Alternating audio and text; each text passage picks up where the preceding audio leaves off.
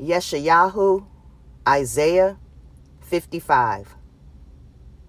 Oh, everyone that thirsteth, come ye to the waters, and he that has no money, come ye, buy and eat. Yea, come, buy wine and milk without money and without price. Wherefore do ye spend money for that which is not bread, and your labor for that which satisfies not? Hearken diligently unto me, and eat ye that which is good, and let your soul delight itself in fatness. Incline your ear, and come unto me.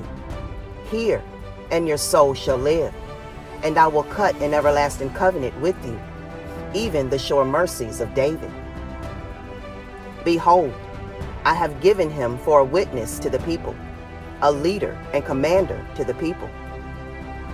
Behold, you shall call a nation that you know not, and nations that knew not you shall run unto you because of Yahweh Eloheka, and for the Holy One of Yasharel, for he has glorified you.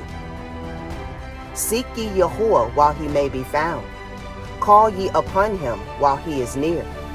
Let the wicked forsake his way, and the unrighteous man his thoughts, and let him return unto El Yahweh and he will have mercy upon him, and to our Elohim, for he will abundantly pardon. For my thoughts are not your thoughts, neither are your ways my ways, says Yahweh. For as the heavens are higher than the earth, so are my ways higher than your ways, and my thoughts than your thoughts. For as the rain comes down, and the snow from heaven, and returns not thither, but waters the earth, and makes it bring forth in bud, that it may give seed to the sower, and bread to the eater.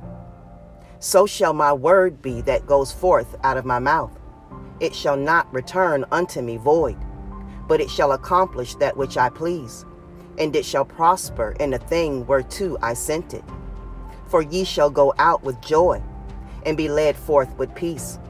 The mountains and the hills shall break forth before you into singing, and all the trees of the field shall clap their hands. Instead of the thorn shall come up the fir tree, and instead of the brier shall come up the myrtle tree, and it shall be to Yahweh for a name, for an everlasting sign that shall not be cut off.